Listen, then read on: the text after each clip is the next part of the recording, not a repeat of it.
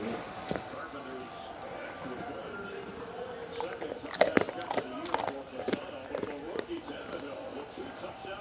Tannehill looped that pass just perfect.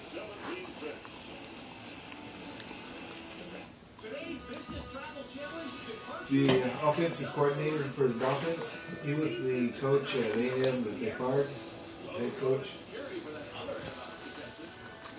So he, that's why they, the Dolphins drafted Tannehill uh, first round, because they knew, you know, what his value would be.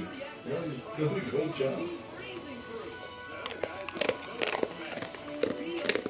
His father was a pro football player. He was there. Look, Dad. I think his father played for. Look. Texas. Oh yeah.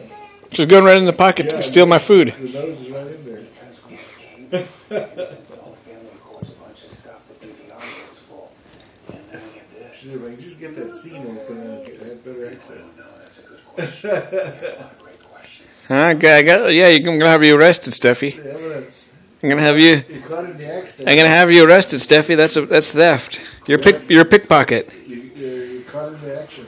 You're a pickpocket, Steffi. Huh? You think you're a criminal. Huh? Huh? Look, she's going for it again. I can't turn my head because I get crooked in it.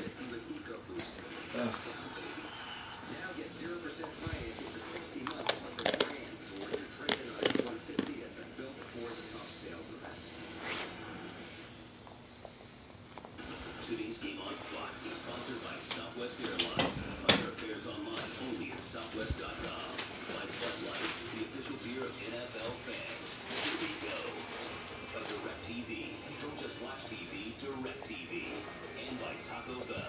sometimes you gotta live by.